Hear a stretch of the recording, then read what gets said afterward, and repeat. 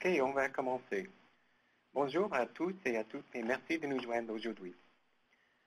Ce webinaire a été organisé par le Centre de collaboration nationale sur les politiques publiques à la santé, soit le CCNPPS, aussi par le Centre de collaboration nationale des maladies infectieuses, le CCNMI. Mon nom est Michael Keeling et avec mon collègue Olivier Bellefleur, je suis très content d'accueillir Dr. Mark Stebbin avec nous aujourd'hui. Avant qu'on commence, j'ai quelques points à noter. Premièrement, notre collègue Mylène Maguire est disponible pour vous aider en cas de problème technique. Merci beaucoup, Mylène. Deuxièmement, je voudrais vous aviser que nous sommes en train d'enregistrer ce webinaire, incluant ce que vous écrire dans le chat. Et lié avec ça, ce PowerPoint et l'enregistrement du webinaire seront disponibles sur le site web du CCNPPS. Un lien arrivera par courriel cet après-midi ou demain. Nous avons déjà une trentaine de personnes sur la ligne en ce moment et plus, j'imagine que plus vont arriver bientôt. Euh, pour poser des questions ou pour faire des commentaires, s'il vous plaît, utilisez la boîte de chat. Nous allons les, euh, suivre vos commentaires et questions le plus possible.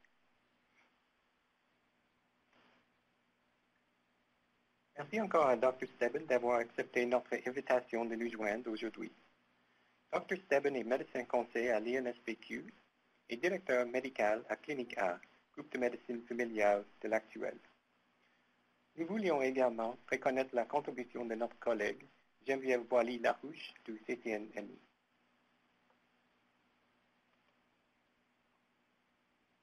Veuillez prendre note de nos déclarations respectives en matière de conflit d'intérêts réel ou potentiel.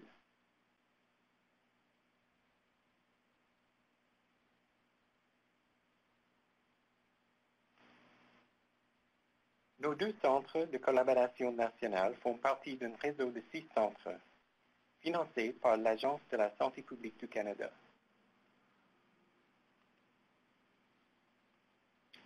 Lors de votre inscription pour cet événement, nous avons vous posé quelques questions. Et voici un résumé de vos réponses.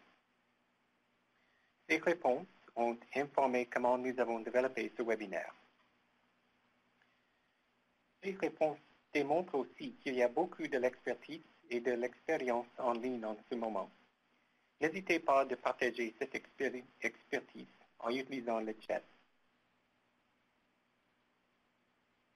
Nos buts aujourd'hui sont de présenter le dépistage dans les points de service, particulièrement dans le contexte canadien et dans les régions éloignées et nordiques.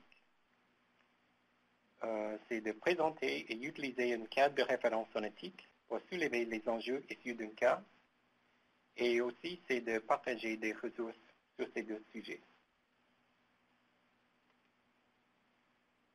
Nous allons commencer avec un problème et ensuite formuler une réponse sous forme d'une étude de cas fictif d'un programme. Le problème, c'est que dans plusieurs régions éloignées ou nordiques du Canada, l'accès au dépistage du VIH est limité en raison du faible nombre d'infrastructures offrant le test. L'éloignement de ces infrastructures, la mobilité des populations rendant le suivi médical et du stigma qui entoure le test du VIH. Les conséquences d'un accès limité au dépistage du VIH dans les régions nordiques peuvent être importantes pour la santé de ces populations, engendrant un retard de la prise en charge du patient avec pour, conséquence une progression de la maladie chez les individus non traités et le maintien de la chaîne de transmission de ces communautés.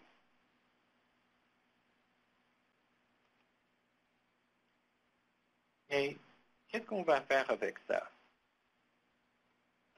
En faisant une réponse, il y a plusieurs facteurs qui peuvent cadrer, motiver, influencer, informer et justifier nos choix et par la suite nos actions. Voici quelques facteurs. À noter que ce n'est pas juste les données probantes qu'il faut prendre en compte dans les réponses politiques ou programmatiques. Et ce n'est pas juste l'éthique non plus. il y a plusieurs facteurs à prendre en compte. Et je veux, je, veux, indiquer qu'il faut que ces deux, les données probantes et l'éthique, il faut qu'ils font partie de nos réponses. Et j'aimerais euh, souligner euh, le point en bas de page euh, de la regarde critique.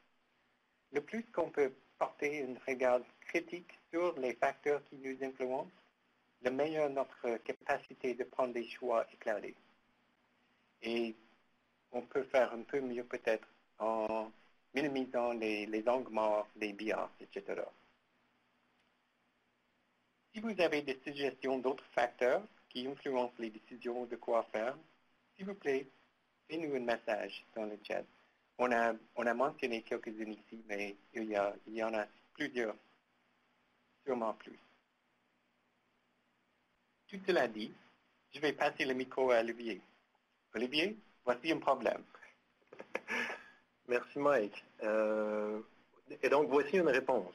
Euh, donc, on va vous demander aujourd'hui, dans le cadre de, ce webinaire, d'imaginer une réponse, juste une parmi euh, plusieurs réponses potentielles à notre problème.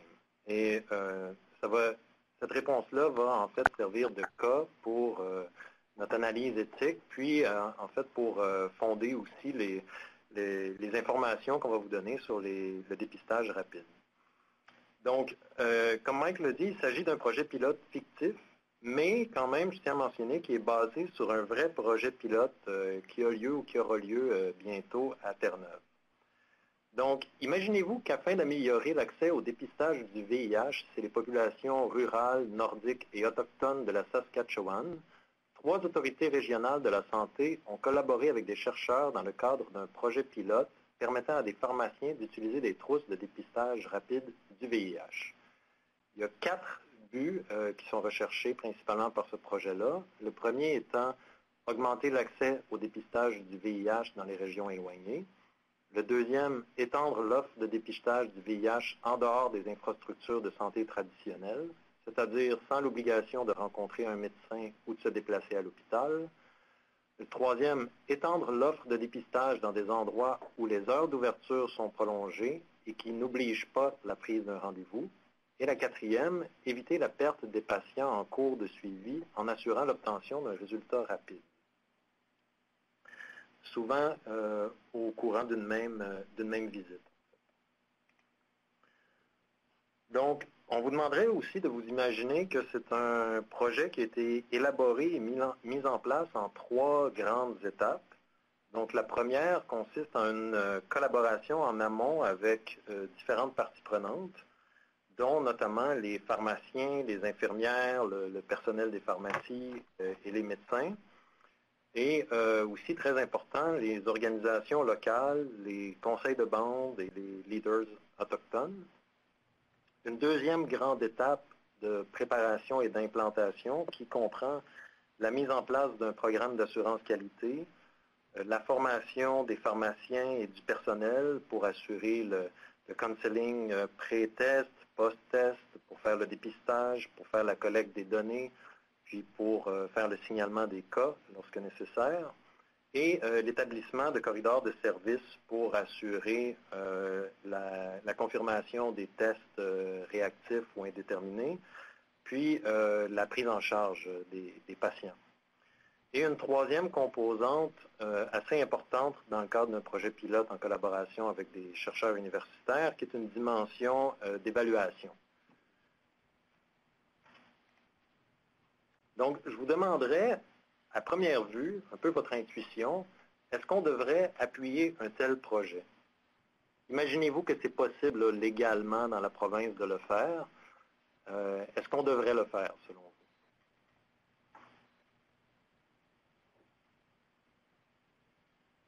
vous laisser quelques instants.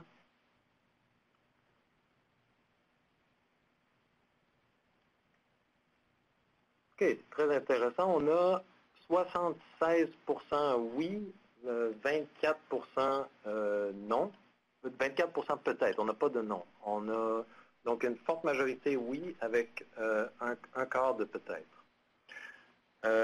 Très intéressant. On va revenir à un vote similaire après avoir fait une analyse éthique assez sommaire du cas. Mais avant de passer à cette dimension-là, on va passer le micro à Dr. Stibben. On est très chanceux qu'il soit avec nous aujourd'hui pour partager son expertise sur le dépistage rapide. Donc, Dr. Stibben. Oui, bonjour à tout le monde. Bien, merci de l'invitation. Ça fait plaisir de vous parler donc euh, de la partie peut-être plus technique euh, du test rapide.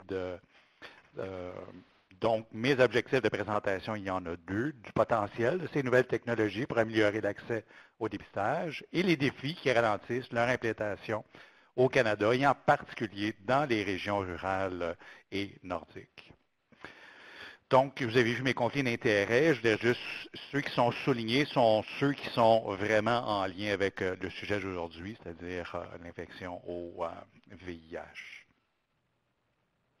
Pourquoi qu'on discute des tests de dépistage rapide du VIH? Mais le Canada est un des, fiers supporters de l'objectif des 90, 90, 90 d'ONU-SIDA. Donc, on veut que 90 personnes des personnes qui ont le VIH connaissent leur statut, que 90% de ces personnes VIH positives prennent un traitement antirétroviral et que 90% de ces personnes VIH positives qui prennent un antirétroviral aient une charge virale indétectable.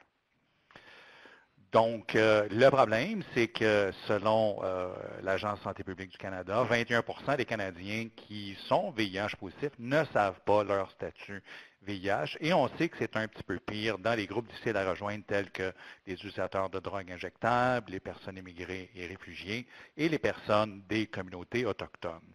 Donc, il est difficile pour ces personnes de trouver des soins respectueux de leur culture et de leur mode de vie.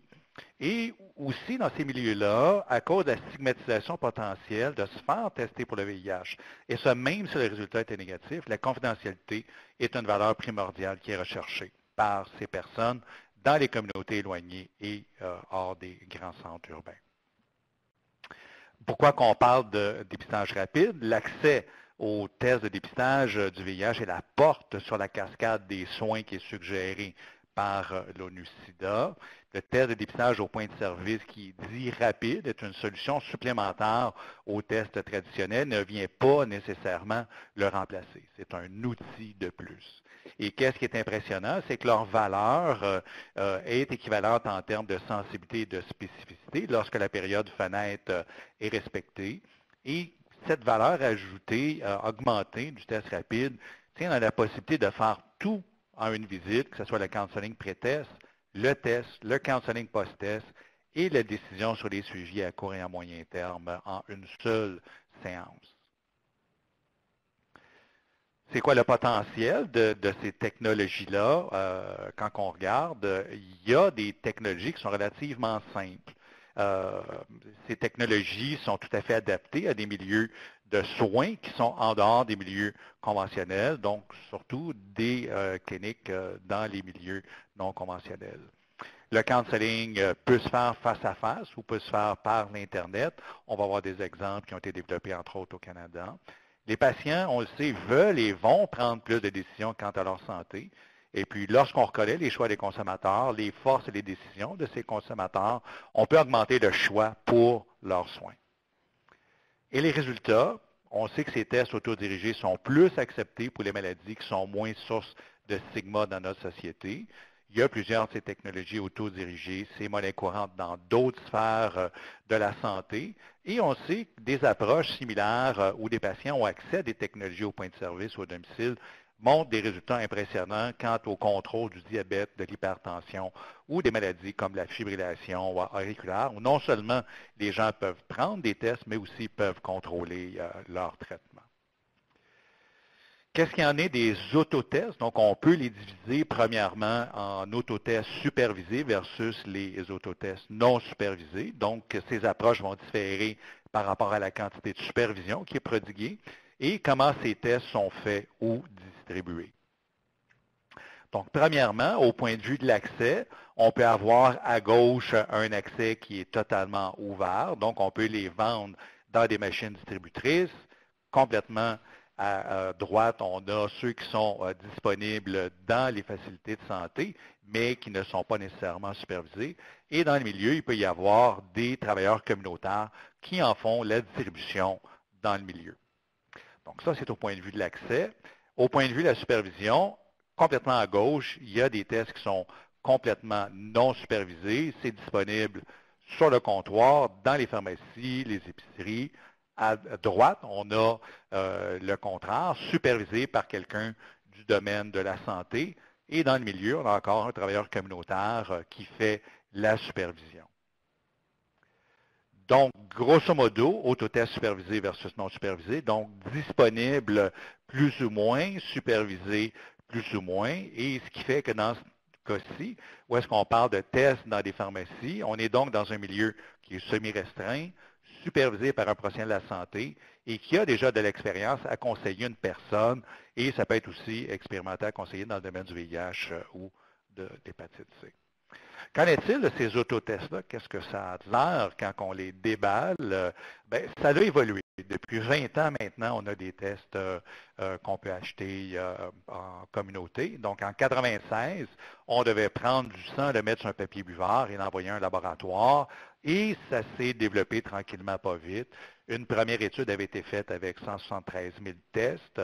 Un peu moins d'un pour cent des gens étaient VIH positifs. 97% des gens ont appelé pour avoir leurs résultats et 60% des gens qui avaient appelé n'avaient jamais été testés auparavant pour le VIH.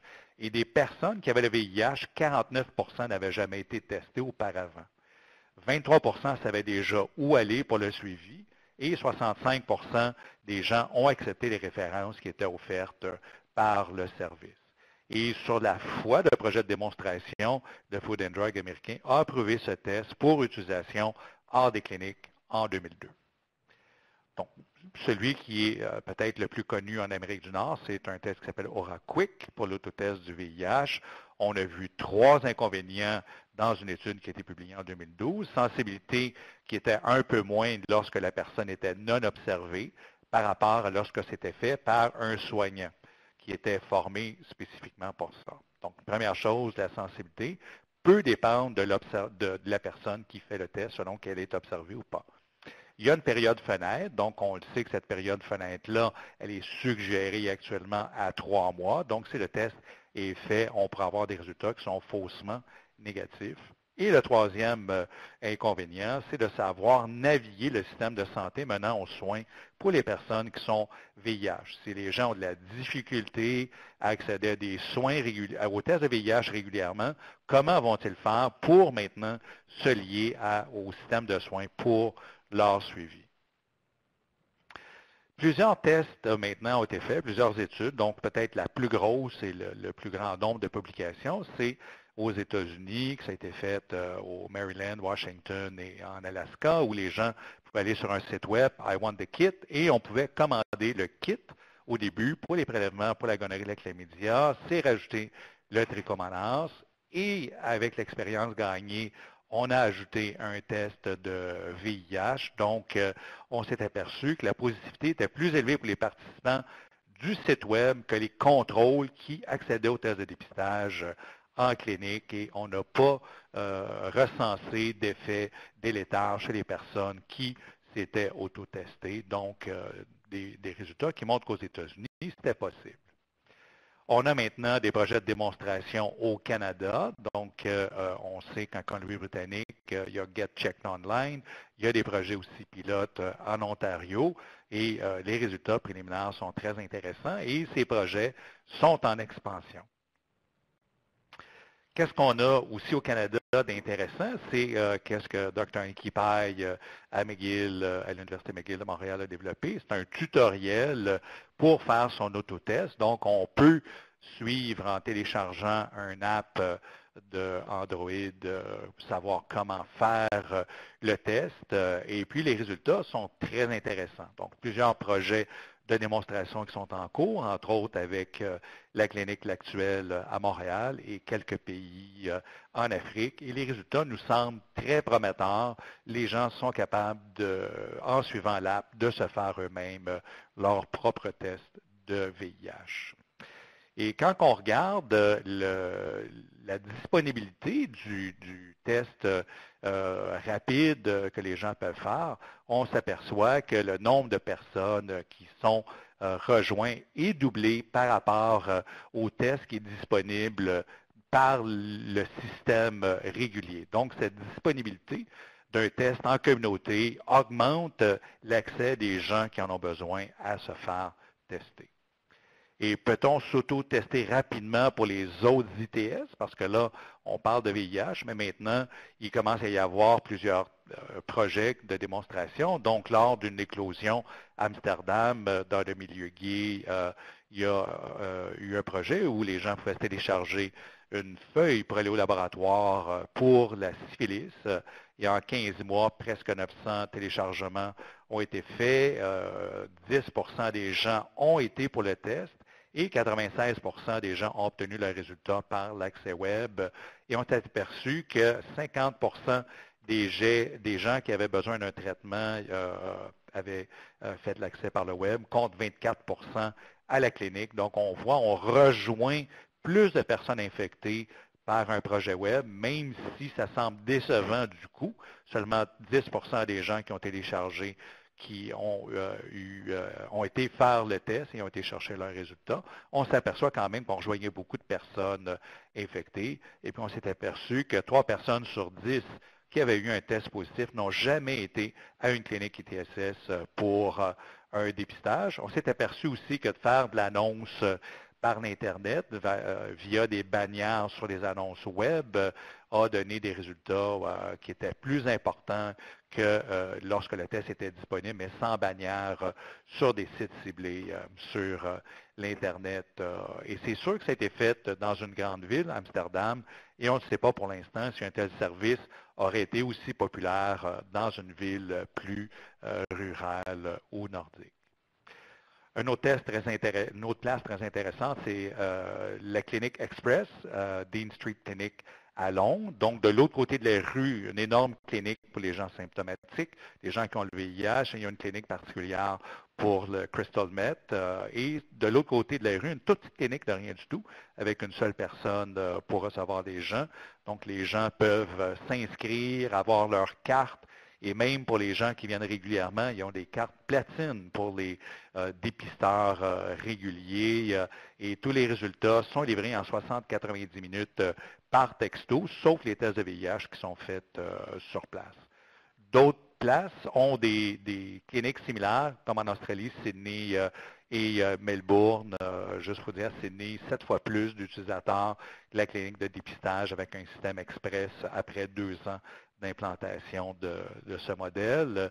Et on voit très rapidement l'augmentation du nombre de personnes qui ont été dépistées à la clinique et on s'aperçoit que euh, le taux de pourcentage pour les infections transmissibles est quand même très élevé et on voit qu'une personne sur neuf qui a été dépistée avait au moins une infection transmissible sexuellement. Et lorsqu'on regarde aussi, intéressant, pré-express, il y avait 3,8 des gens qui avaient des résultats positifs qui n'étaient pas rejoints. Et depuis l'implantation du service express, c'était seulement 1,2. Donc, on voit réduction à un tiers des euh, non euh, suivis.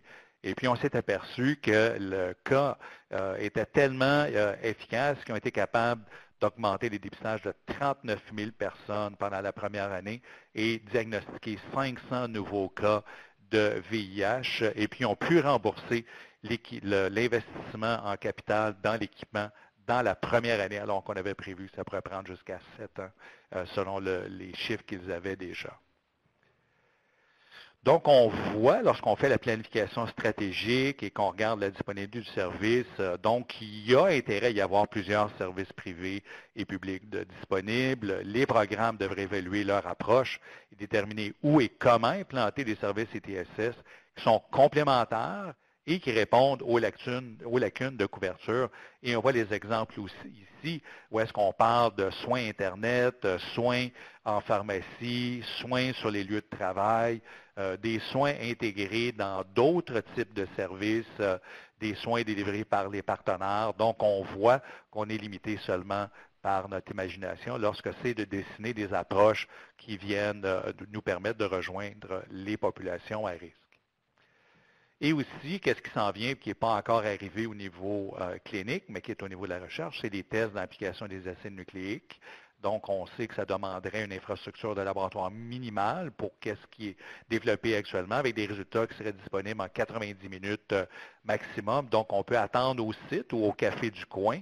C'est peut-être un petit peu plus dispendieux, mais c'est là le potentiel de euh, drastiquement diminuer les périodes fenêtres de trois mois à peut-être moins de 21 jours. Et lorsqu'on sait que les gens sont particulièrement contagieux du VIH euh, dans la première année, on voit plus on est capable de diminuer la période fenêtre, plus grand serait l'impact euh, à intervenir pour prévenir euh, la transmission. Il y a beaucoup d'outils d'accompagnement qui sont en développement et qui sont disponibles, que ce soit pour le counseling pré-test, l'accès aux tests, la supervision, l'interprétation des résultats, les counseling post-test, les liens aux soins et au suivi, on s'aperçoit que le monde Internet est incroyable à développer des solutions, que ça aide de l'app au jeu sérieux, à la géolocalisation. donc, il y a énormément de possibilités. Il y a même des lecteurs optiques pour lire notre test de euh, laboratoire. Donc, euh, les outils sont là pour accompagner les gens. Euh, quels sont les effets pervers potentiels? Mais il y a un petit problème peut-être avec la spécificité. Est-ce que les faux négatifs euh, sont possibles. Euh, avec les tests qui sont disponibles au Canada, on sait que ce n'est pas un grand problème. C'est tel que euh, maintenant, on considère peut-être démarrer la prophylaxie post-exposition et la recherche des partenaires déjà à partir de ce premier résultat, avant même la confirmation par un test veineux classique. Donc, cette fenêtre sérologique-là de 90 jours fait que des fois, des gens pourraient avoir besoin d'être testés, mais ils ne sont pas dans la période optimale de 90 jours. Mais peut-être qu'on va tranquillement euh, baisser, étant donné le rendement qu'on voit avec les outils euh, qu'on a. Peut-être que 42 jours, ça pourrait être suffisant même pour les tests euh, classiques. Et pour les tests rapides, comme on a vu pour les NAT, on pourrait probablement aller à 21 jours. Est-ce qu'on est capable de, de, lier les gens aux soins? Ça, c'est une grande question. On a peur aussi que ça devienne de point of sex testing. Les gens, avant de mettre des condoms ou avant d'avoir des relations sexuelles, se testent, mais ces tests-là pourraient être faussement négatifs, étant donné que des personnes pourraient être dans la période fenêtre. Est-ce que ça pourrait être vu aussi comme un morning after sex testing? Pour savoir si on a besoin d'une prophylaxie post-exposition? Euh, il y a des dangers de coercition. Oui, je vais avoir des relations sexuelles avec toi, mais tu vas te faire un test de VIH avant. Euh, est-ce qu'il y a des dangers pour la personne qui se teste? Euh, il n'y a pas de cas où est-ce qu'on a vu des dangers comme mutilation euh, ou tentative suicidaire dans les différents projets que je vous ai montrés, entre autres ceux de Baltimore qui sont peut-être rendus les plus loin dans l'évaluation. Euh, créer des liens avec les soins. Donc, on a plusieurs modèles qui ont prouvé la capacité de lier les personnes avec les soins. Donc, la clinique express, les personnes sont déjà dans la clinique et techniquement, ils ont à traverser la rue euh, pour se rendre du côté euh, des personnes, en guillemets, symptomatiques et on leur assigne quelqu'un qui va les voir rapidement. Euh, pour ce qui est des réquisitions de tests en ligne, on euh, demandait euh, l'équivalent du code postal et on donnait des références lorsque les gens recevaient les résultats. Pour ce qui est des tests faits à la maison, les différents projets, il y avait une ligne téléphonique dédiée 24 heures par jour dans certains cas, des messageries textes, des réponses par jeu sérieux, la possibilité de skyper un intervenant, des informations écrites qui venaient aussi avec le test. Euh, et pour les tests en communauté aidés par les pairs, les pairs sont aussi des conseillers et des navigateurs du système de soins. En finissant, donc, je vous donne euh, des, informations intéressantes. Dr. Topol, qui est probablement celui qui est le plus connu au niveau de l'innovation euh, et de la digitalisation. Donc, lui, c'est l'apôtre de la digitalisation, de la démocratisation.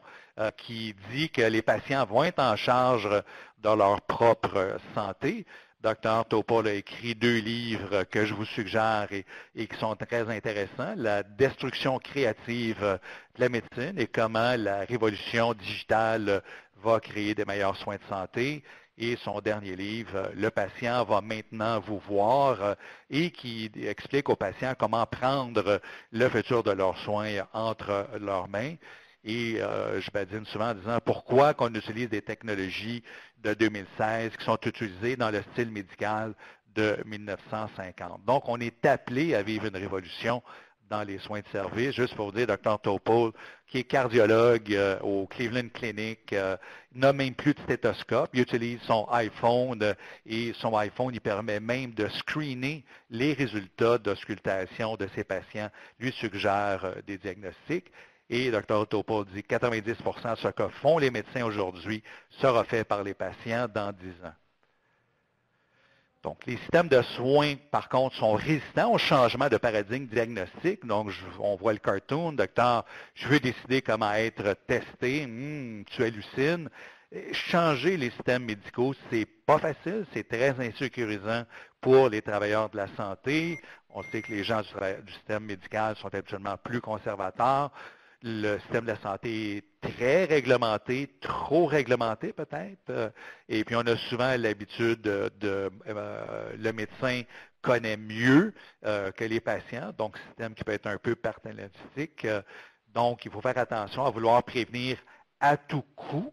C'est sûr qu'il faut être ouvert à l'idée que les, les les patients euh, sont prêts à accepter un, petit déficit d'efficacité. Le problème qu'on a, c'est l'accès beaucoup plus que l'efficacité des tests à trouver l'infection. Donc, euh, les éléments clés de l'autotest du VIH, je les résume. Donc, le potentiel pour le méfait peut être minimisé si l'autotest est fait avec l'information adéquate, des produits de qualité, de manière réglementée, avec un cadre de droit humain, et avec une implication de la communauté dans la prise de décision. Donc, tous ces éléments clés s'appliquaient déjà aux autres tests de VIH euh, disponibles euh, classiquement et si on a l'accès à l'autotest VIH, il faudrait qu'on ait les mêmes, euh, les, mêmes balises de sécurité. Donc, en conclusion, le paysage de dépistage VIH va changer grandement dans les années à venir. Le rôle du counseling pré-test doit inclure une discussion des activités de prévention. Lorsqu'un autotest est favorisé, ce counseling post-test doit inclure une discussion sur la nécessité de répéter les tests selon le besoin. Les autorités de santé doivent prévoir des produits de qualité et préparer les cliniques à recevoir les personnes qui se sont autotestées et non pas les rejeter. Donc, la communauté doit aussi se préparer pour l'arrivée de l'autotest pour le VIH. Je vous remercie de votre attention et je repasse euh, la parole euh, à Michael ou Olivier. Merci beaucoup, euh, Dr. Seben, pour cette présentation qui était fort intéressante. Et je pense qu'à l'image de, l'intérêt pour votre présentation, il y a beaucoup, beaucoup de questions dans la, boîte de chat. Je vais en, reprendre quelques-unes pour vous. on va prendre quelques minutes pour ça. Puis, je vous invite après, si on n'a pas le temps de les prendre, de, parcourir le chat et de répondre pendant qu'on va, va continuer la présentation. Euh, une première question qui venait de Louise Ringuette. Euh, le test euh, pour le VIH se fait avec le sang ou la salive? Et qui recueille les renseignements des tests? Là, ça dépend beaucoup dans quel contexte qu'on est. Actuellement, qu'est-ce qui est disponible dans, les, dans les cliniques selon des indications de Santé Canada, c'est le test sanguin. Le test qui est fait par Bioanalytical, qui est une compagnie canadienne, est un test donc, qui se fait avec du sang capillaire. Il y a le test Oraquick aussi qui est disponible, mais son coût est quand même plus important. Et ce test-là peut se faire sur de la salive. Euh, une autre question qui était reliée à, la question de qui recueille les renseignements des tests. Euh, Sophia posait, que fait-on des données, quel usage? Et euh, comment assure-t-on la, confidentialité des données? Est-ce qu'il y a des formulaires de, consentement qui sont signés par les, participants? Encore une fois, ça dépend de quel usage on veut en faire, mais c'est sûr que si les gens les achètent en pharmacie, sont distribués par des travailleurs communautaires, il n'y a pas vraiment d'informations qui est nécessairement euh, recueilli. Euh, dans, les différents, dans les différents projets de démonstration. Par contre, comme on a vu I Want the Kit euh, et le projet aussi de Vancouver, il y a quelques renseignements qui sont demandés aux participants, mais son utilisation en communauté n'est pas nécessairement reliée à la prise de, renseignements. Avec, euh, comme on peut avoir pour un test de sang par une ponction veineuse traditionnelle au pied du coude? une autre question de Iman Jrondi demande peut-on extrapoler les résultats des, tests, ben, des, études qui ont été faites dans les grands centres urbains, dans les milieux ruraux et dans les régions éloignées, entre autres en prenant en compte les difficultés parfois d'accès à l'information, les niveaux d'éducation et autres? Je pense que c'est très difficile, puis je pense qu'il y a lieu d'encadrer et de faire des tests pilotes pour voir est-ce qu'il y a des choses qui peuvent être acceptables dans les régions urbaines qui ne sont pas dans des régions nordiques euh, ou euh, euh, rurales? Est-ce qu'il y a des choses qui ne se faisaient pas en, ville et qui se feraient dans des régions rurales ou nordiques? Moi, je pense qu'effectivement, c'est important de recueillir de l'information on va le voir peut-être un, petit peu plus tard dans la présentation, où on doit préparer le terrain, on doit euh, s'assurer qu'on couvre les euh, situations euh, possibles, que ce soit en cas de positif ou en cas de négatif. c'est sûr qu'on ne peut pas s'attendre à ce qu'un modèle qui est distribué en communauté va nécessairement avoir tous les mêmes renseignements. Il y a, lorsque c'est distribué il y a dans des machines distributrices par rapport à une prise de sang que je fais au centre universitaire euh, dans une grande ville canadienne. Donc, dans, un peu dans le même ordre d'idée, euh, euh, avec tous ces modèles-là différents, Louis Dringuette demande comment peut-on assurer la déclaration des maladies obligatoires si aucun renseignement n'est recueilli?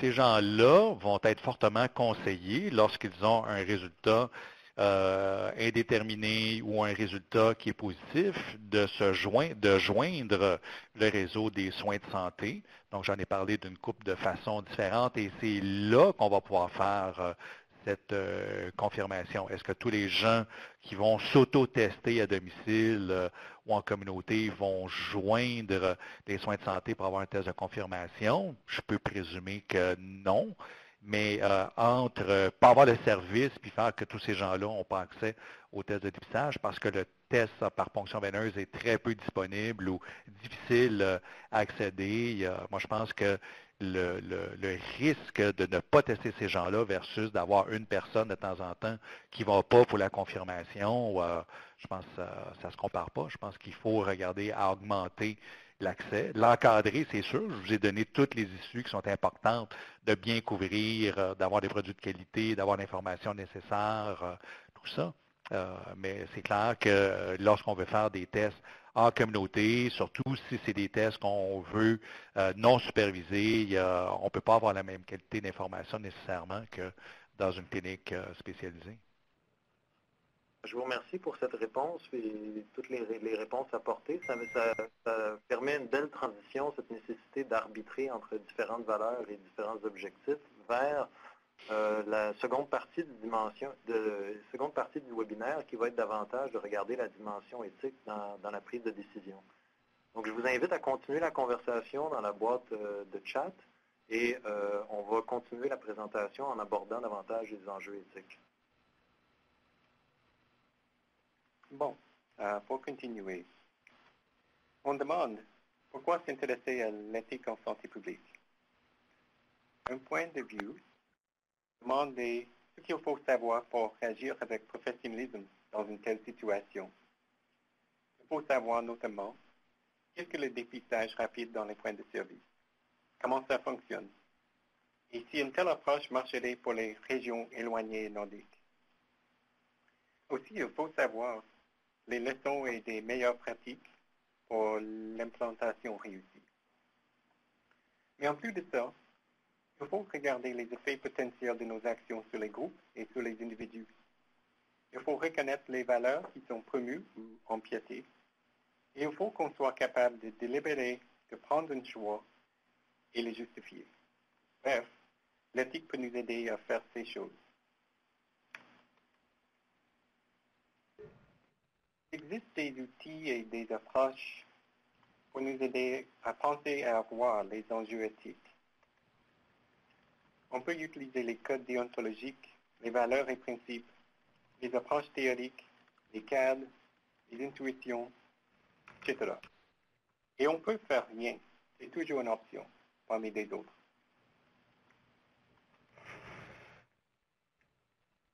Également important de noter que ces outils peuvent nous aider à trouver les enjeux aux différents niveaux.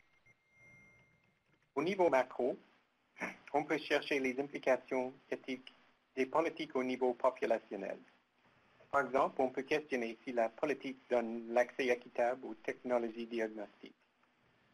Et on voit dans la différence entre les villes et les, régions éloignées, peut-être qu'il y a une différence en termes d'accès.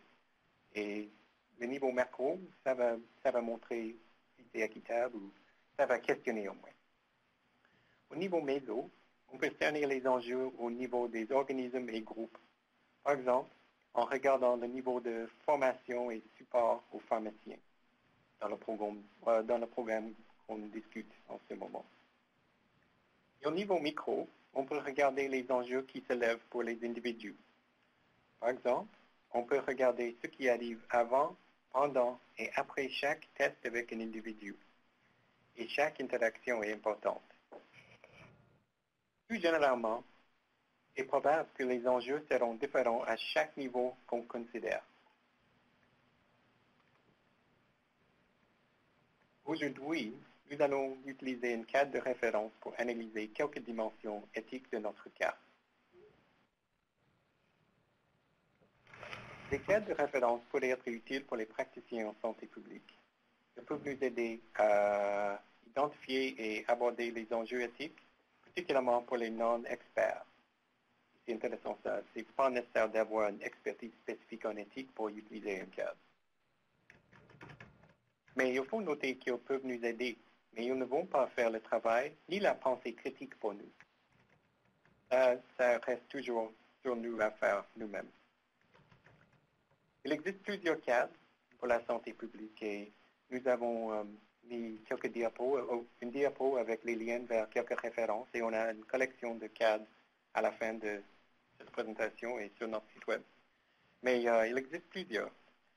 Aujourd'hui, nous allons utiliser un parmi eux comme un exemple de ce qu'ils peuvent faire.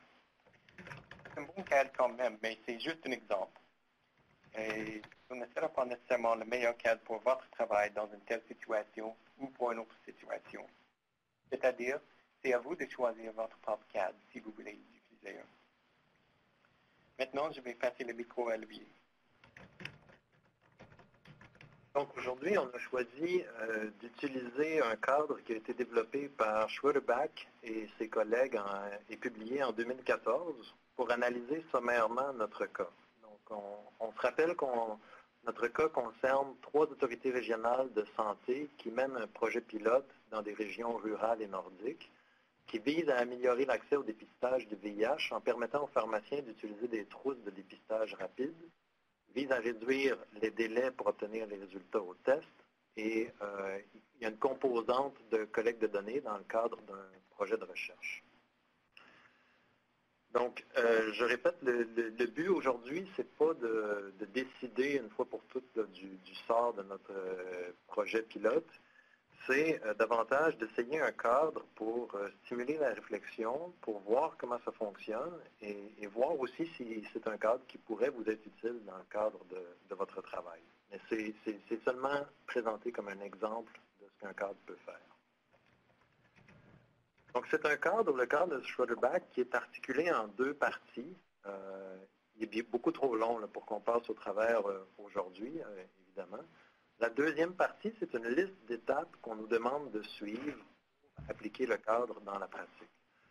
Aujourd'hui, on va se concentrer sur le point 2 de la partie 2 qui demande d'identifier les enjeux éthiques à l'aide de principes euh, moraux, de principes éthiques qui sont listés dans la partie 1. Et euh, donc, on va se contenter de, soulever des enjeux éthiques et on va se concentrer sur, j'ai sélectionné quatre principes euh, qu'on va regarder un petit peu plus attentivement et les sous-questions qui sont proposées dans le cadre pour aider à identifier des, enjeux éthiques. Et dans ce cadre-là, on va vous demander euh, beaucoup votre participation à travers la boîte de chat, principalement pour trois des principes qu'on va regarder. Donc, on va commencer par le principe 3, qui est le principe de maximisation de la santé. qui est, qui est clairement un principe qui est euh, en lien, clairement aligné avec la, mission populationnelle de la santé publique. Et on demande des, questions pour aider à réfléchir. L'intervention sera-t-elle efficace? Sera-t-elle basée sur des données probantes? Et améliorera-t-elle la santé de la population? Nous, ce qu'on aime faire souvent pour réfléchir à ce genre de questions-là et identifier les enjeux éthiques aussi euh, l'aide des autres principes, c'est d'abord de, se faire un, un bref modèle logique de la façon dont on pense que le programme va se dérouler ou de la façon dont on aimerait qu'il se déroule pour atteindre les objectifs de santé publique. Donc, si on regarde ici, euh, ce qu'on espère en augmentant l'offre de dépistage dans les régions où elle est présentement limitée, c'est qu'on ait une, une, augmentation du nombre de dépistages, qu'on ait plus de résultats qui soient transmis aux individus, que les individus qui ont des résultats euh, réactifs ou indéterminés passent un test de confirmation qui permet d'enclencher la notification des partenaires euh, ou les traitements ou la, prise en charge, puis euh, que ça, brise la chaîne de transmission et qu'on obtienne finalement une baisse de mortalité et de morbidité. Donc, l'avantage de faire un modèle logique rapide comme ça, c'est que ça nous permet de questionner euh, différentes étapes à l'intérieur euh, de la chaîne logique pour savoir si on va effectivement obtenir euh, les résultats souhaités. Donc, on sait, d'après la présentation de, du Dr. Steben, que les, trousses sont efficaces, mais par exemple, on peut se demander, au niveau du dépistage, est-ce que les pharmacies, c'est le meilleur lieu pour rejoindre les populations qu'on cherche à rejoindre? Euh, est-ce que, par exemple, aussi les tests, euh, les gens qui ont des tests réactifs ou indéterminés, est-ce qu'ils vont réellement faire le test de confirmation? Euh, où devront-ils aller s'il n'y a pas les, infrastructures en place? et la même chose pour savoir, pour le traitement et la prise en charge, est-ce qu'ils vont devoir se déplacer très loin de chez eux pour avoir les traitements, pour la prise en charge? Quels sont les services qui sont offerts localement? Donc, c'est le genre de questions qu'on peut poser pour euh, essayer de déterminer si l'intervention va maximiser la santé. Mais je pense que dans ce cadre-ci, il ne faut pas oublier, un peu comme le docteur Steben le disait, qu'on euh, peut se poser la question si le programme est fait de telle sorte qu'on va maximiser la santé, mais je pense qu'on, d'après les données, on peut euh, être à peu près certain qu'en améliorant l'offre, on va améliorer la santé on va la maximiser? Ça, c'est l'autre question. Puis, on a une dimension ici de, projet pilote. Donc, euh, on peut penser que si ça fonctionne bien, c'est quelque chose qui pourrait être étendu à d'autres régions.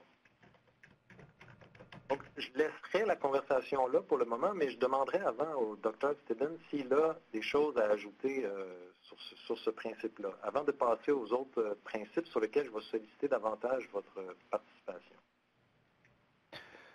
Donc, on, voit dans ce modèle-là que euh, du côté du dépistage, il faut voir qu'il y a une préparation énorme qu'on ne voit pas du tout sur les diapositives. Donc, il faut s'assurer que lorsque le test est, disponible, que les intervenants sont formés, qu'on a prévu euh, des situations qui peuvent être euh, des situations complexes, comment répondre à des besoins de, détresse selon les résultats euh, il faut s'assurer aussi que la communauté est réceptive. Euh, certaines expériences ont montré que l'inclusion des partenaires euh, communautaires dans le développement des programmes était capable d'augmenter l'acceptabilité et la diffusion, surtout si on a des navigateurs qui viennent aussi du milieu communautaire. Puis qu'est-ce qui est intéressant avec les tests euh, rapides, c'est qu'on peut faire à la fois le counseling pré-test, les résultats, euh, le counseling post-test euh, et les liens aux soins de santé, dépendant non seulement des résultats de VIH, mais aussi de d'autres besoins qui peuvent avoir été recensés, que ce soit des problèmes de toxicomanie ou de santé mentale ou de dépistage pour d'autres infections transmissibles sexuellement. Je vous remets la parole. Oui, merci beaucoup.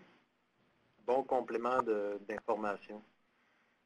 Donc, je vais passer maintenant à un autre principe, euh, qui est un principe très connu, le principe de non-malfaisance, qui est un principe plus individualiste, plus, plus mis de l'avant souvent dans en éthique clinique qu'en éthique de santé publique, mais qui est quand même un principe très important en santé publique.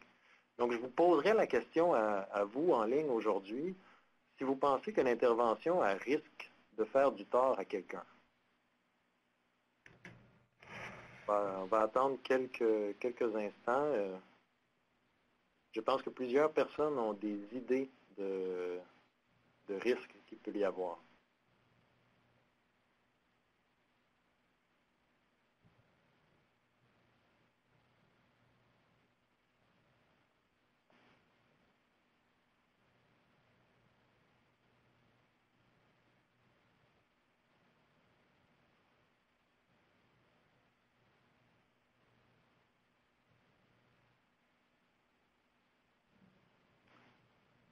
Plusieurs personnes qui écrivent. devraient avoir une euh, non-malfaisance. Quel est le risque de faux positif? Euh, qui est une très bonne question que je relayerai peut-être davantage à Dr. Euh, Steben ou à Geneviève Boilly-Larouche qui sont dans le chat en ce moment. Mais effectivement, il y a un risque, comme avec tout test, euh, même s'il est minime, il y a un risque de faux positif. Euh, et donc d'anxiété en attendant un test de confirmation. Il y a Joséphine Ao qui écrit un risque de bris de confidentialité et de stigmatisation dans une petite communauté. C'est un très bon point et tout dépend de la façon dont euh, l'intervention est pensée pour assurer la confidentialité. Mais lors d'une conférence sur les, ITSS dans les petites communautés nordiques, entre autres, quelqu'un mentionnait, dit, les gens sont réticents déjà à aller acheter un condom à la pharmacie parce que tout le village va le savoir. Euh, donc, on peut imaginer la situation où quelqu'un va demander à son pharmacien pour un test de dépistage rapide. Euh, qu'est-ce qui doit être mis en place pour euh, justement minimiser le plus possible les risques de bris de confidentialité? C'est une bonne question.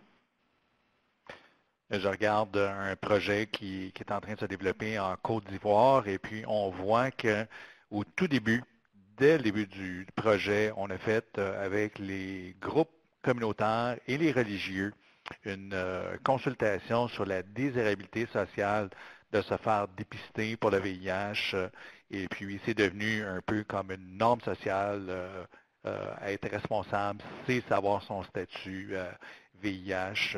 donc, c'est supporté. Donc, on a transformé peut-être qu'est-ce qui était perçu comme de la stigmatisation en désirabilité sociale, d'où l'importance d'inclure les partenaires du communautaire qui peuvent travailler sur la perception que peuvent avoir les autres personnes dans la communauté d'une personne qui se fait tester. C'est vraiment intéressant. S'il y a, avec l'introduction de, nouveaux tests et d'une nouvelle approche euh, en partenariat, si la norme sociale elle-même euh, finit par être changée, c'est vraiment un, résultat qui peut être intéressant et diminuer par le fait même le, risque de non-malfaisance. Euh, on parle on parle de patients autotestés positifs à une TSS avec l'obligation légale de les déclarer aux partenaires.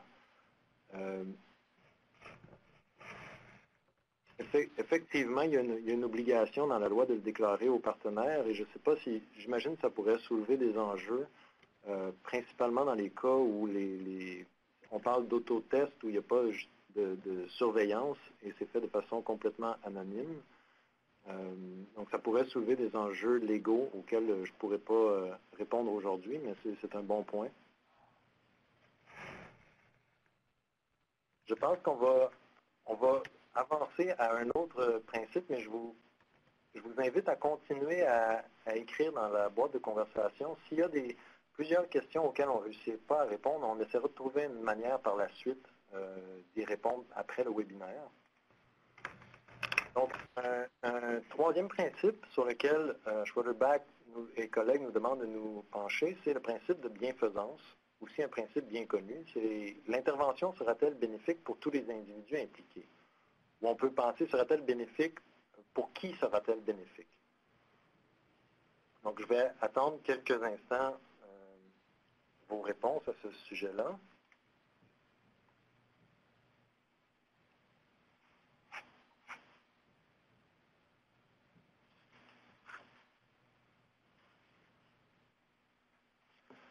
On parle d'une prise en charge euh, plus rapide avec traitement.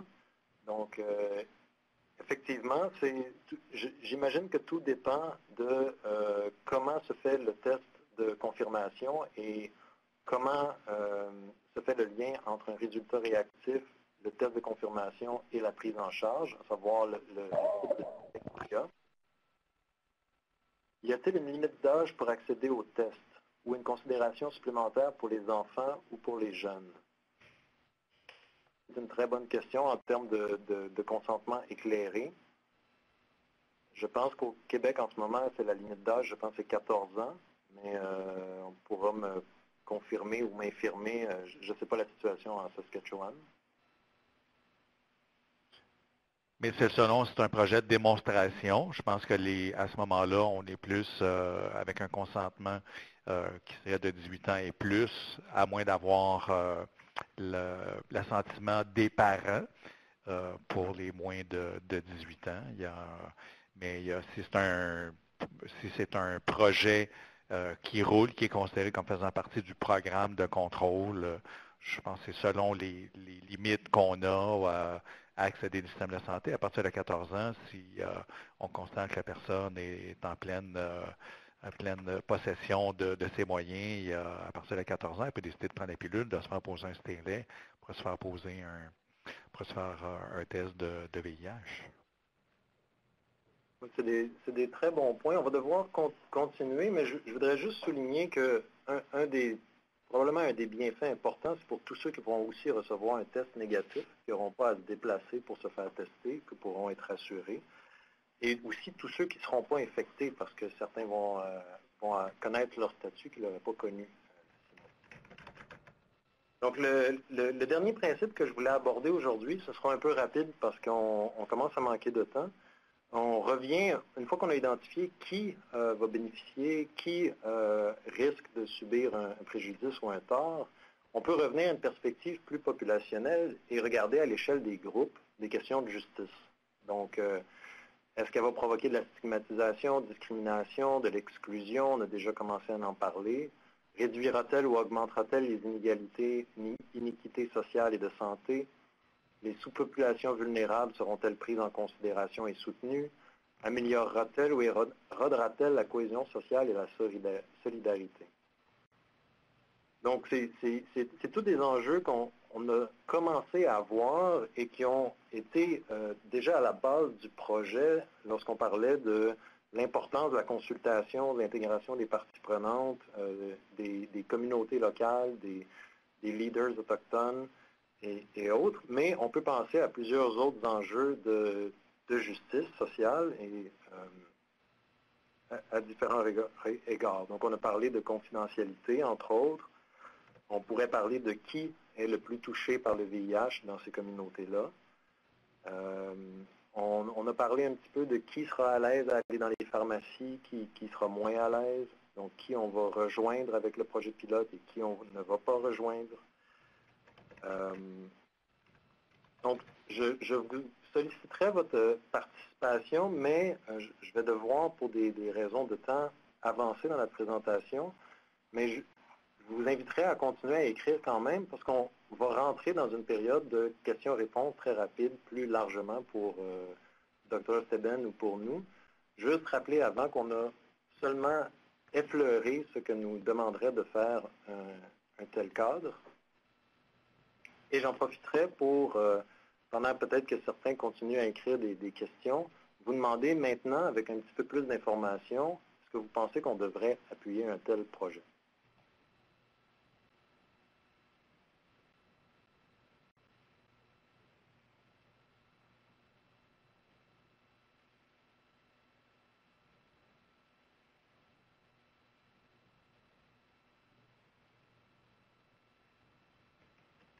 Donc, on obtient euh, grosso modo 55-43, donc une répartition avec un peu plus de peut-être.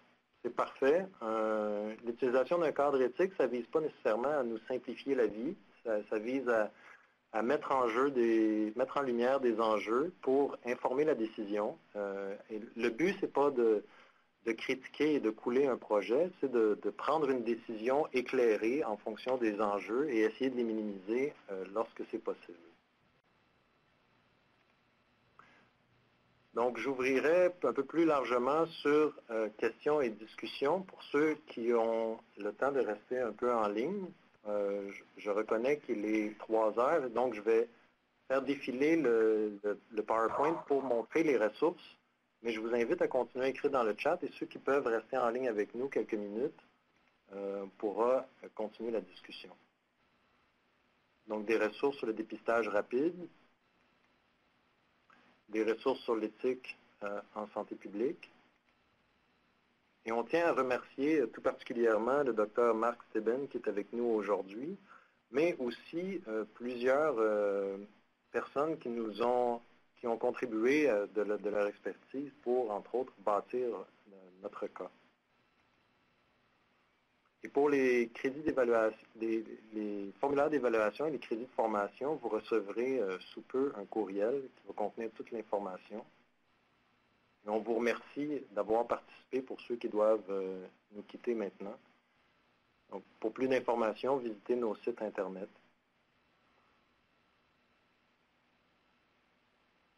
Donc, euh, commentaire, il, nous manque beaucoup d'informations pour appuyer le projet.